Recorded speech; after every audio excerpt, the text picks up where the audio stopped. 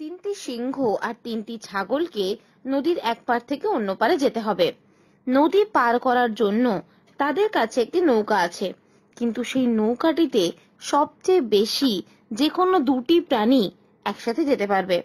নৌকাটিকে চালানোর জন্য কমপক্ষে একটি প্রাণীর প্রয়োজন।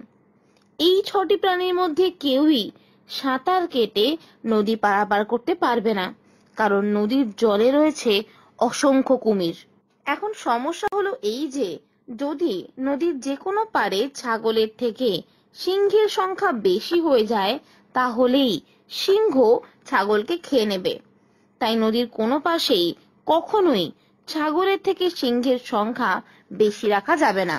এখন আপনি বলুন সবচেয়ে কম কতবারের মধ্যে কোনো প্রাণীর ক্ষতি না করে এই ছটি জন্তুই নদীর অন্য পারে যেতে পারবে।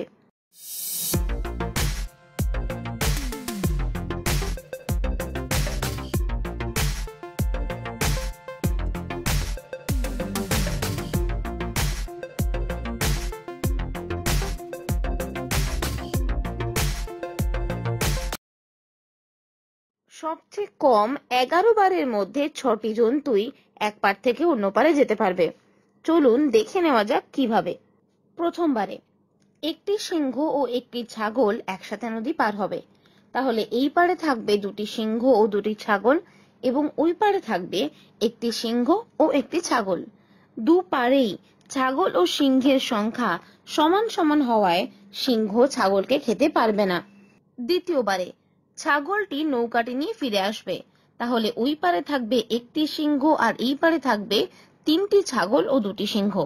সিংহের থেকে ছাগলের সংখ্যা বেশি থাকায় এবারও সিংহ ছাগলকে খেতে পারবে না। তৃতীয়বারে দুটি সিংহ একসাথে এই পার থেকে ওই পারে যাবে। চতুর্থবারে অর্থাৎ ফেরার সময় একটি সিংহ নৌকাটি নিয়ে ফিরে আসবে। তাহলে এখন ওই পারে আছে দুটি সিংহ এবং এই পারে আছে তিনটি ছাগল ও একটি সিংহ। পঞ্চমবারে দুটি ছাগল নৌকাটি করে ওই পারে যাবে। তাহলে পঞ্চমবারের পরে ওই পাশে থাকবে দুটি সিংহ ও দুটি ছাগল এবং এই পারে থাকবে একটি সিংহ ও একটি ছাগল। দুদিকেই ছাগল ও সিংহের সংখ্যা সমান সমান হওয়ায় সিংহ ছাগলকে খেতে পারবে না। ষষ্ঠবারে, অর্থাৎ ফেরার সময়, একটি সিংহ ও একটি ছাগলকে ফিরে আসতে হবে। তাহলে ষষ্ঠবারের পরে ওই পাশে থাকবে একটি সিংহ ও একটি ছাগল এবং এই পারে থাকবে দুটি সিংহ ও দুটি ছাগল। এইবার সাত নম্বর বারে দুটি ছাগল একসাথে এই পার থেকে ওই পারে যাবে। তাহলে এখন ওই পারে থাকবে তিনটি ছাগল, একটি সিংহ এবং এই পারে থাকবে দুটি সিংহ। এরপরে বাকি ধাপগুলো বেশ সোজা। অষ্টম বারে একটি সিংহ ফিরে আসবে। তাহলে অষ্টম ধাপের পরে ওই পারে থাকবে তিনটি ছাগল এবং এই পারে থাকবে তিনটি সিংহ। নবম বারে দুটি সিংহ একসাথে নদী পার করবে। দশম ধাপে আবার একটি সিংহকে ফিরে আসতে হবে, কারণ একটি সিংহ তখনও এই পারে রয়ে গেছে। এরপর শেষ, অর্থাৎ এগারো নম্বর ধাপে দুটি সিংহ একসাথে নদী পার করবে। এই ছবিটি ভালো করে দেখে বলুন, এই ছবিটিতে শূন্য স্থানে কি বসবে।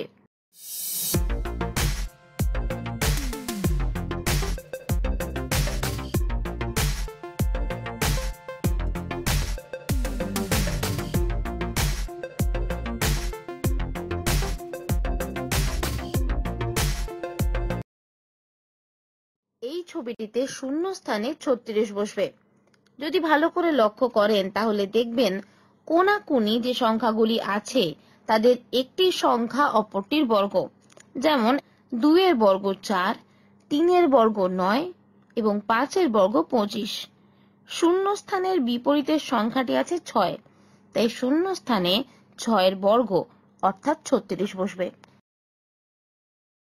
ছবিটি ভালো করে দেখে বলুন এদের মধ্যে কে প্লেনের টিকিট না কেটেই প্লেনে উঠেছে?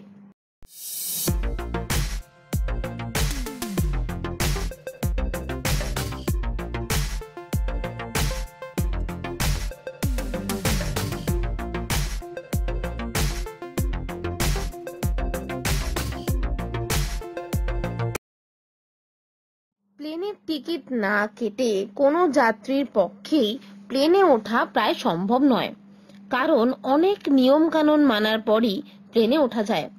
তবে এদের মধ্যে একমাত্র এয়ার হোস্টেসকে প্লেনে ওঠার জন্য কোনো টিকিট কাটতে হয় না, তাই এই ছবিটিতে এয়ার হোস্টেসই টিকিট না কেটে প্লেনে উঠেছে। ছবিটি খুব ভালো করে দেখে বলুন, এদের মধ্যে কে গুপ্তচর?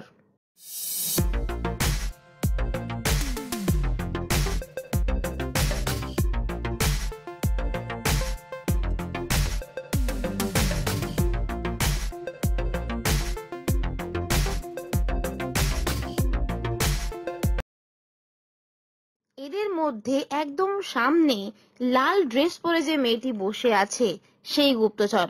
কারণ তার ব্যাগ থেকে একটি অ্যান্টেনা বেরিয়ে থাকা অবস্থায় দেখা যাচ্ছে। ছবিগুলি ভালো করে দেখে বলুন, এই ছবিগুলির মধ্যে কোনটি আলাদা?